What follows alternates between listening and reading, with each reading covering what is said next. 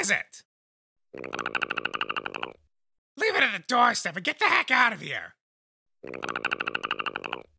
What money?